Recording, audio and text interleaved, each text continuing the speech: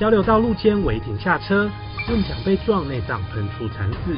连接车司机遭大货车追撞，变成夹心饼干惨死。慢动作再看一次，他被大货车右侧高速冲撞，眼镜等物品飞了出来，他的内脏也被挤压喷出。超惊悚的车祸事件，二十八日清晨发生在国道三号台中荣景交流道。五十岁的陈姓男子开连接车从台南送货到台中，疑因后方反复旋脱落，他竟违规把车停在平交道路间下车查看。这时，江姓男子驾驶的大货车也刚好下交流道，高速撞死陈姓男子。肇事司机表示，当时太阳刺眼，没看到那里的人，肇事责任有待检警厘清。